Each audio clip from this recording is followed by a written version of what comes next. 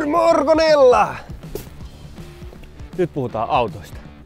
Nimittäin me kuvataan tulevaisuudessa aika reilusti autoja ja vähän semmoista ehkä rankempaa kamaa niille, niin kuin ennen tehtiin. Tässä pieni pätkä, mitä siis on ykkösellä tehtiin autojen kanssa.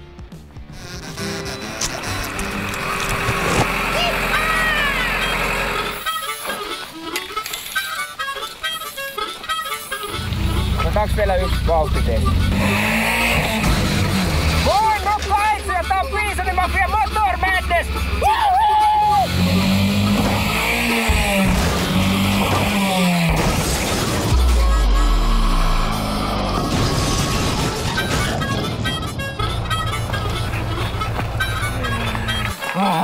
Moi, mä oon Kaitsu Piisanin Mafiasta ja sä katsot Motor Madnessia.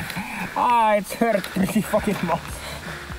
Nyt mennään takaisin nuoruuteen, eli otetaan autot käyttöön ja tehdään niillä ihan mitä vaan. Eli moni teistä on varmaan nähnytkin tämän meidän ostoilmoituksen tuolla Fakebookissa ja sinnehän tuli tuota tarjouksia aika reilusti, aika monesta autosta ja nyt niitä ostetaan. Me ostetaan pihat täyteen autoja. Nyt vaan pitäisi keksiä, että mitä niillä tehdään. Tää on meidän vanha kunnon Taneli, että tätä tosissaan ei romuteta, mutta kaikki loput autot olisi tarkoitus tuhota tavalla tai toisella ja mahdollisimman siistillä tavalla. Lähtisikö vielä käyntiin? Ei lähde käyntiin. Tässä on semmonen juttu, että sä voit vaikuttaa siihen, mitä me tehdään niiden autojen. Eli laita tonne alapuolelle kommentteihin, mitä sä haluaisit, että me niillä autolla tehdään. Millä semmoista, jossa se auto meni rikki. Ja sitten me valitaan niistä kommenteista kolme. Ja näiden kolmen parhaan kommentin tai ehdotuksen välillä tehdään sitten Instagram-kysely. Ja sitten sieltä, mikä nousee parhaaksi, niin sitten se me tehdään. Ja on meillä itselläkin näitä ideoita, miten näitä autoja voitaisiin tuhota. Esimerkiksi tää.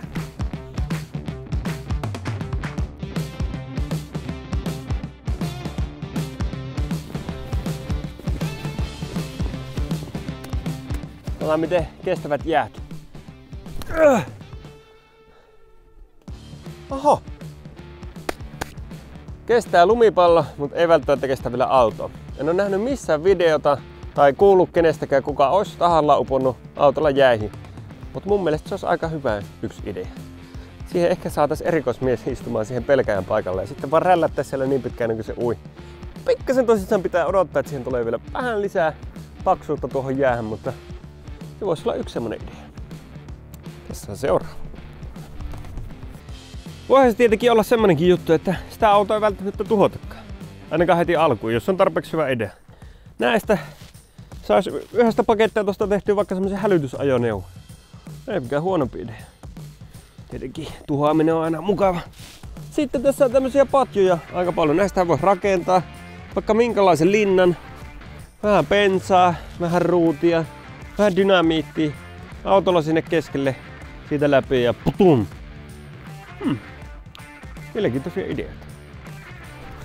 Hei, tykätkää muuten niistä hyvistä ideoista siellä kommenteissa, niin me nähdään sitten mikä siellä on niin kuuma peruna. Täällä sisällä on ollut sauna. Siinä on ollut hormi mennyt ylös. Täällä on vieläkin puita, vieläkin kiuaskiviä.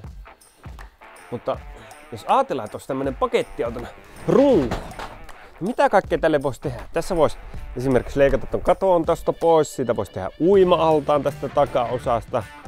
Ja yksi juttu, mikä on ollut elinikäinen haave, vetää kahdella renkaalla jollakin autolla.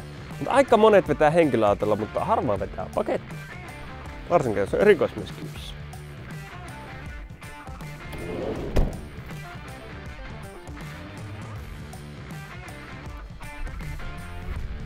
Tässä on meillä hyppyrikin valmiina. Minä alussa näette vähän miten autolla hypitään. Ja tietenkin siitäkin varmaan löytyy semmoisia uusia aspekteja, millä tavalla ei olla autolla ennen hypitty. Esimerkiksi pakilla ei ole mahdottomasti ajeltu hyppyri. Vähän sen tietenkin varmaan pitäisi olla isompi kuin tää. Mutta varmaan ihan käyttöisidea.